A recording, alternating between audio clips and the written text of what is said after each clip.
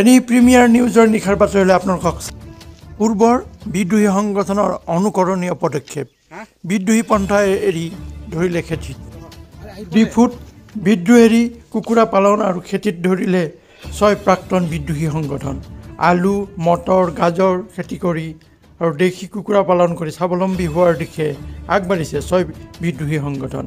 কাৰ্বি আংলঙৰ প্ৰাক্তন বিদ্ৰোহী ঐক্য মঞ্চ সংক্ষেপে কেৰুপ ক্ৰেপৰ উদ্যোগত ডিপুৰ পাঁচ মাইলত দেশী কুকুৰা পালন আৰু কুলিগাঁৱত আশী বিঘা ভূমিত আলু মটৰ আদি খেতি কৰি স্বাৱলম্বী অৰ্জন কৰাৰ লগতে ছয় সংগঠনৰ প্ৰায় দুই হাজাৰ প্ৰাক্তন কেডাৰসকলক সং কৰ্ম সংস্থাপন আৰু জীৱন জীৱন নিৰ্বাহৰ ব্যৱস্থাপনা দিয়াৰ প্ৰচেষ্টা চলাইছে। উল্লেখ্য যে দুহেজাৰ একৈছ বৰ্ষৰ চাৰি ছেপ্টেম্বৰত কেন্দ্ৰীয় আৰু ৰাজ্য চৰকাৰৰ সৈতে জিলাখনৰ ছয় সশস্ত্ৰ বিদ্ৰোহী সংগঠনে আনুষ্ঠানিকভাৱে শান্তি চুক্তি স্বাক্ষৰ কৰি মূল সুঁতিলৈ উভতি আহিছিল। পিছে ছয় সংগঠনৰ নেতৃবৰ্গক লৈ কাৰ্বি আংলঙৰ প্ৰাক্তন বিদ্ৰোহী ঐক্যমঞ্চ কেৰাপ গঠন কৰা হয়।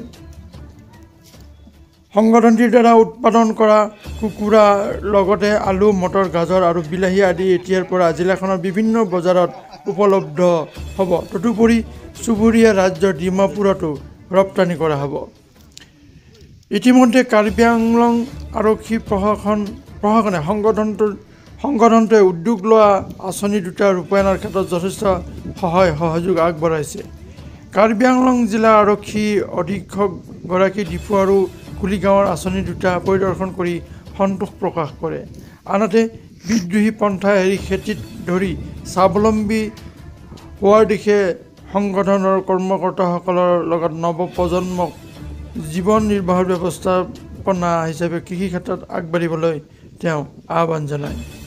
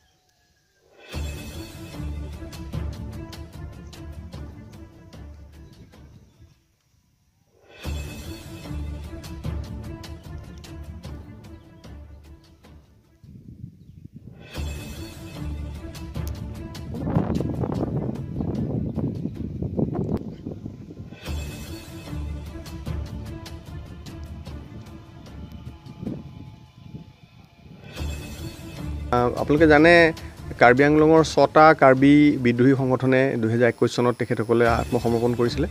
আৰু তাৰ পিছত তেখেতসকলৰ বিভিন্ন পৰ্যায়ত তেখেতসকলৰ ছেল্ফ ৰিলায়েন্সৰ কাৰণে আত্মনিৰ্ভৰশীল হ'বৰ কাৰণে যথেষ্ট প্ৰচেষ্টা প্ৰচেষ্টা তেখেতসকলে আগবঢ়াইছিলে।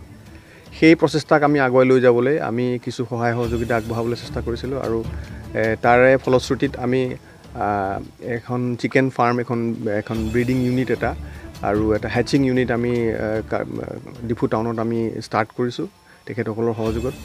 আৰু তাতে মাহে প্ৰায় আমি এটা প্ৰজেক্ট কৰিছোঁ ত্ৰিছ হাজাৰমান চিক্স ওলাব সেনেকুৱা ধৰণৰ এটা প্ৰজেক্ট কৰি এতিয়া ইতিমধ্যে তেখেতসকলে কমাৰ্চিয়েল প্ৰডাকশ্যন ষ্টাৰ্ট হৈছে। তেখেতসকলে আজিৰ পৰা বজাৰত বিক্ৰী কৰিবলৈ আৰম্ভ কৰিছে। ঠিক তেনেদৰে প্ৰায় আশী বিঘামান মাটিত তেখেতসকলে বিভিন্ন ধৰণৰ বেলেগ বেলেগ শাক পাচলি খেতিৰ কাৰণে তেখেতসকলে আত্মনিয়োজন কৰিছে আৰু আপোনালোকে দেখা পাইছে ইতিমধ্যে আলুকে আদি কৰি বিভিন্ন ধৰণৰ শাক পাচলি ইতিমধ্যে তেখেতসকলে পাইছে।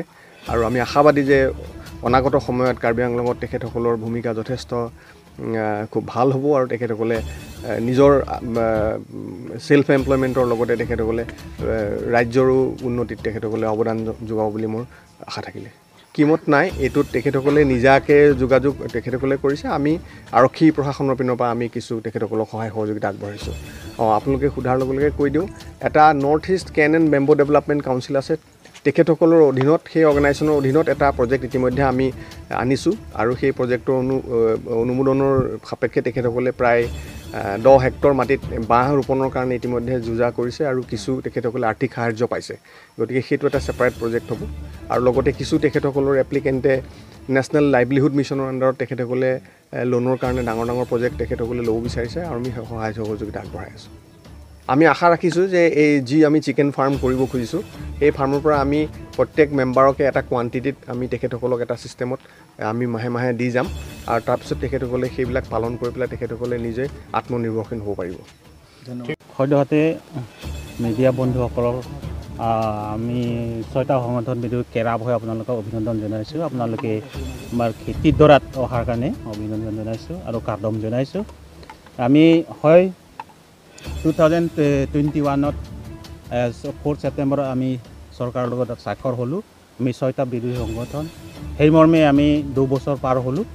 সেই দুবছৰ পাৰ হোৱাৰ সময়ত আমি যিখিনি আমাৰ বিষয়বোৰৰ মাজত আমি ক- কি কেডাৰসকলৰ লিডাৰসকলৰ মাজত আমি আলাপ আলোচনা মৰ্মে আমি খেতিডৰাত নমাৰ কাৰণে আমি ডিচিশ্যন লৈছিলোঁ। সেই ডিচিশ্যন মৰ্মে আমি খেতি কৰিলোঁ। খেতিটো সেইটোৱে আছিলে আলু মাকৈ কি বিলাহী আৰু মটৰ গাজল সেইকেইটা আমি খেতিৰ দৰাত নামিছোঁ।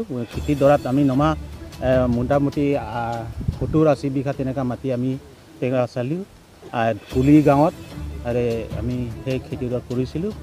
খেতিত কৰাত আমি বৰ্তমানলৈকে দুমাহ সম্পূৰ্ণ হ'ল। সেই দুমাহ সম্পূৰ্ণ হোৱাৰ পাছত আমি আজি সেই আলু যিটো আছ- সেই আলুত আমি ওলালোঁ। সেই মাৰ্কেট যাবৰ কাৰণে বজাৰত মুকলি কৰিবৰ কাৰণে আমি আজি আমি কাৰ্বি আংলং এছ পি মহোদয় আহ, আহিছে। তেওঁ অলপ আগতে কথাষাৰ জনাই গৈছে। সেই মৰ্মে আমি তেওঁৰ সহায়ত বা তেওঁৰ সহযোগত প্ৰায়খিনি আমি ছটা সংগঠন লিডাৰসকলে বা কেডাৰসকলত একগোট হৈ আমি ইয়াত ফাৰ্ম খুলিছোঁ আৰু সেই খেতিডৰা আমি লাগি এই প্ৰথম আমি কৰিছোঁ আৰু আমি সদ্য সপক্ষে আমি কৰি যাম সেইটো এটা। আৰু বাকী আমি মুৰ্গী ফাৰ্ম খুলিছিলোঁ সেইটো পাঁচ পাঁচ মাইলত ডিপুৰ কাষতে। সেইটো সেইটো আজি আমি এশমান মুৰ্গীত এই মাৰ্কেট যিটো বজাৰত আমি মুকলি কৰি দিছোঁ সেইটোৱে বৰ্তমান আমি যিটো কৰিছিলোঁ বা সেইটো আৰু। অস্ত্ৰ হয় সং- সংগ্ৰাম আমি চলাই গৈছিলোঁ পঁচিছ বছৰ তেনেকুৱাকৈ পাই আমি গোটেই সংগঠনটোৱে চলাই গৈছিলোঁ। সেই সময়ত চৰকাৰৰ লগত আমি স্বাক্ষৰ হ'লোঁ। স্বাক্ষৰ হোৱাৰ পাছত আমি আত্মনিৰ্ভৰশীল কাৰণে আমি নিয়ৰ ভৰিত থিয় হ'ব পৰাকৈ যাতে সেইটো ক্ষেত্ৰত আমি আগভাগ যাতে লৈ যাব পাৰি আৰু বিশেষ- বিশেষতে লিডাৰ আৰু কেডাৰসকলক আৰু গাঁও ৰাইজক আমি বিলাব পৰাকৈ আমি যাতে সেইটো ৰাস্তা দেখাব পৰাকৈ আমি লৈ যাম আৰু কৰি যাম সেইটো আশাবাদী আশাবাদী আমাৰ কাৰণে। খেতি কৰা হ- খেতি কৰালৈ আমি স্বাৱলম্বী হ'ব পৰা সেইটো আছে। তো প্ৰত্যেকজনে ভালকৈ জানে খেতি কৰিলে কি লাভ হয় কি লাভ নহয় সেইটোতো সকলোৱে জানে।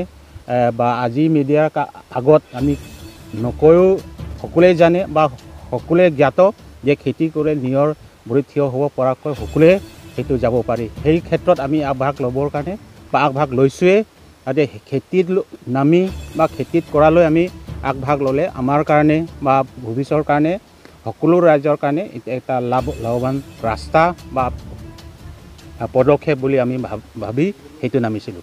ভাগ এ, প্ৰথম প্ৰায়ৰিটি আমি সেইটো দিছোঁ লোকেলৰ যিটো কাৰ্বি আংলং গোটেই ঘৰে ঘৰে ঘৰে পোৱা গাঁও গাঁৱে পোৱা সেইটো লোকেল বুলি আমি কওঁ। লোকেল প্ৰায় কি কি ছিষ্টেম আছে বা কি কি জাতি আছে মান- নাজানো কিন্তু লোকেল বুলি আমি ভাবোঁ। ইয়াৰ লগত লগতে আমি ৰেম্ব' ৰষ্টাৰ লগাইছোঁ। এ, ইয়াৰ পাছত কি কি প্ৰজাতি ওলাব সেইটো পিছত আমি ডিচিশ্যন লৈ মেলি ৰাইজৰ আগত আমি উল- উলিয়াম।